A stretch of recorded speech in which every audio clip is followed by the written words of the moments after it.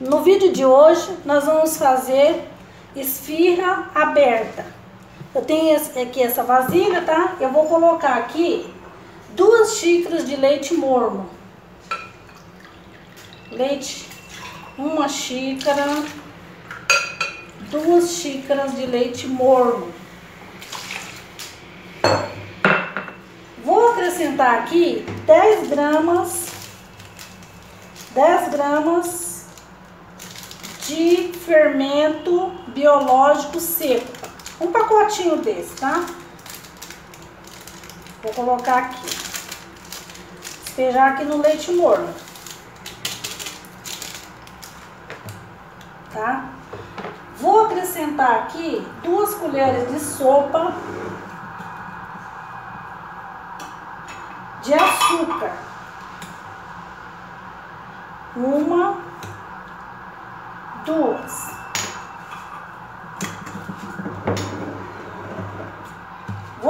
acrescentar duas colheres de sopa de margarina. Duas colheres de mãe, tá? Colher bem cheinha. De margarina. Agora, vou mexer aqui, ó. A gente mistura.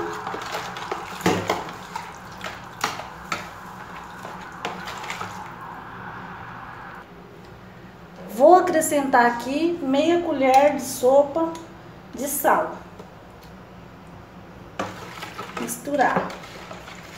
O leite tem que ser morno, não pode ser muito quente, porque senão mata o fermento. O fermento é fermento biológico. Se você colocar muito quente, vai matar. Então agora eu vou colocar farinha de trigo aqui, vai gastar mais ou menos de 400 a meio quilo, 400 gramas a meio quilo de farinha.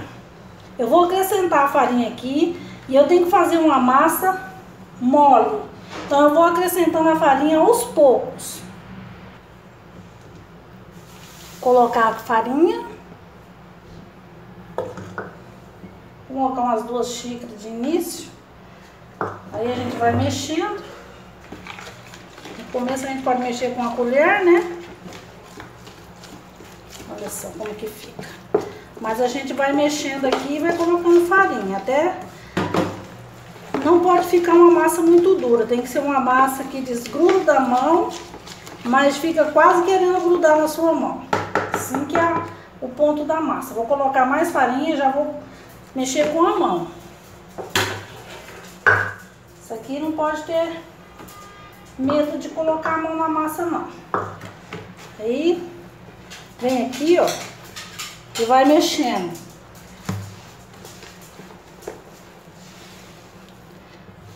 Vai mais, vai mais farinha, tá vendo?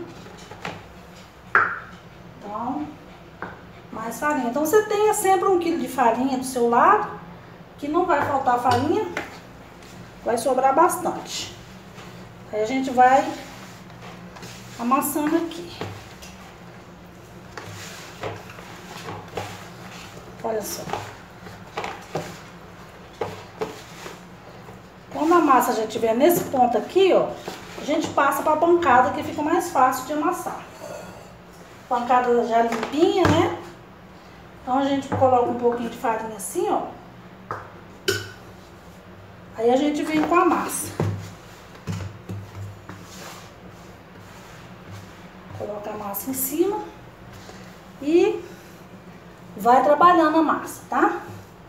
Então aqui eu vou trabalhar a massa, eu vou mostrar pra vocês, para o vídeo não ficar muito grande. Eu vou trabalhar essa massa aqui, vou colocando farinha, mas aqui não vai muita farinha mais não, tá vendo, ó? Que não tá pregando na mão. Então aqui a gente vai amassar essa massa até ficar bem lisinha. Agora que a nossa massa tá bem macia, ó, olha que massa bonita, ó bem homogênea, bem macinha. Agora eu vou colocar ela aqui nesse saquinho aqui, ó, saquinho de colocar mantimento na geladeira, né? E vou deixar aqui durante 10 minutos. Olha que, que bonita que tá a massa, ó. Depois de 10 minutos ela cresceu bastante, aí eu vou tirar ela aqui desse saquinho. Vou colocar ela aqui na bancada. Vou colocar um pouquinho de farinha aqui só para farinhar um pouquinho a bancada, bem pouquinho a farinha. Aí eu vou fazer, eu vou fazer aqui um, um rolinho comprido assim, ó. Enrolar assim mais ou menos, fazer um rolinho comprido, que daí eu vou poder cortar em tamanhos uniformes. Olha, eu dividi a massa no meio porque tava ficando muito grosso, né?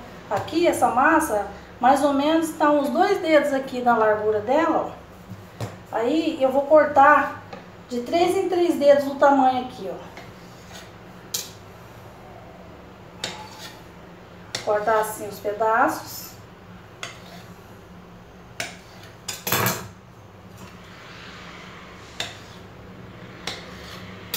Agora eu vou pegar cada pedaço desse e vou fazer uma bolinha.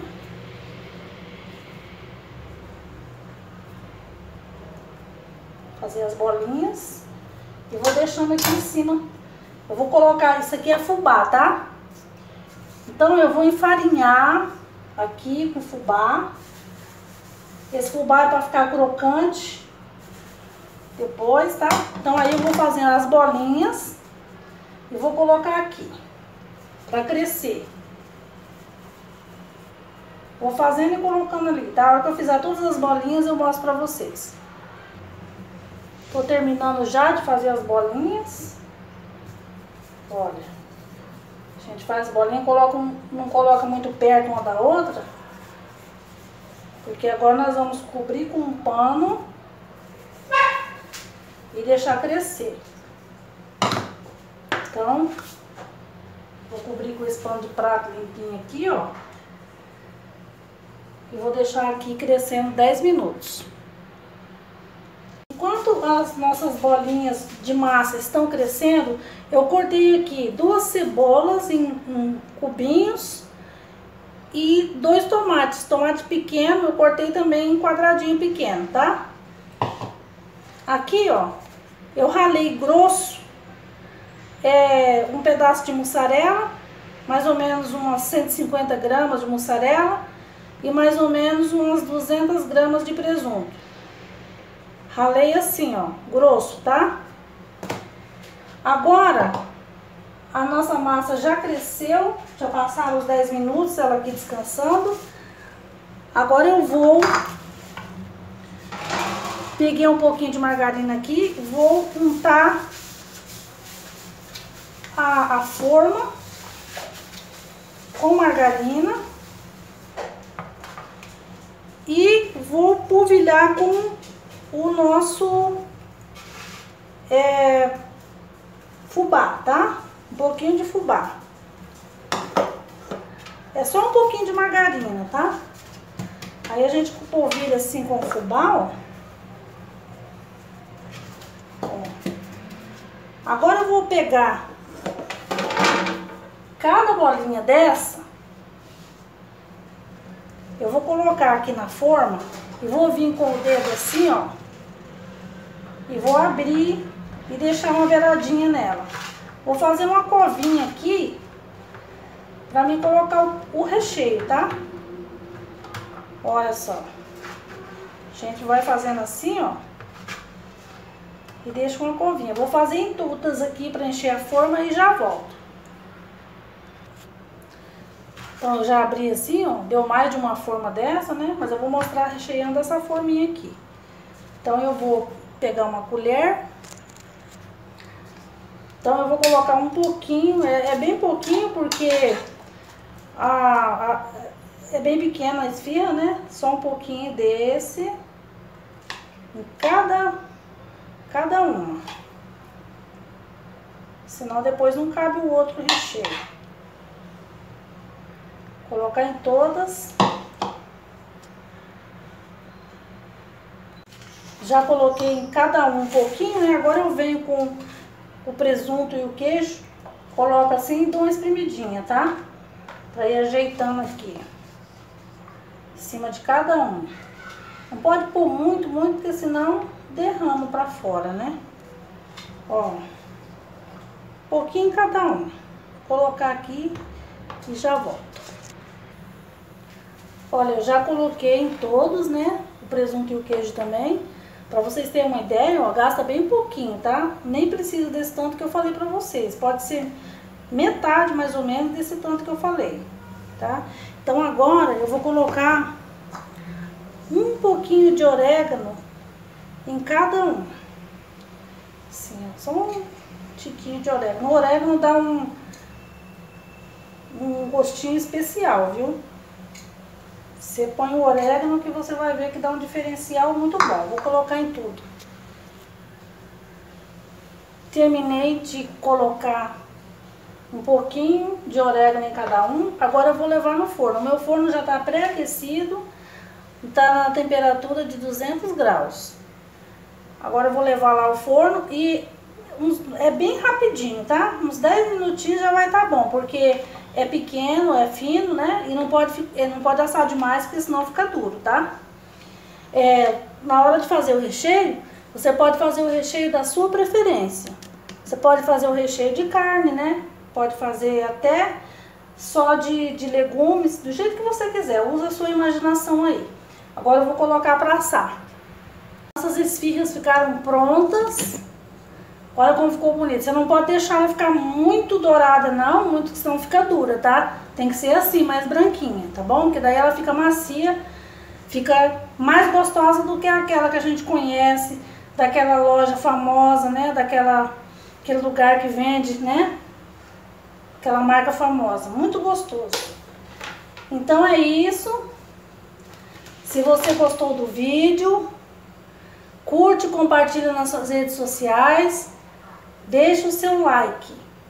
Gente, vou mostrar pra vocês que pra comer você coloca um limãozinho. Vou cortar aqui um limãozinho, ó. Vou cortar. Aí você vem, pega a sua esfirra e espreme assim, ó. Hum, que delícia.